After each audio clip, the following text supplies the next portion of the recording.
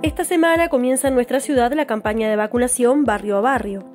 Mediante un comunicado, la Dirección Departamental de Salud comunica los horarios, los días y los lugares en los que se vacunará la primera dosis contra COVID-19 en el marco de dicha campaña. Miércoles 28 de julio, Policlínica Maldonado Nuevo, de 10 a 14 horas. Jueves 29 de julio, Policlínica Cerro Pelado, de 10 a 14 horas. Viernes 30 de julio, Policlínica de ACE, Barrio Hipódromo, de 10 a 14 horas.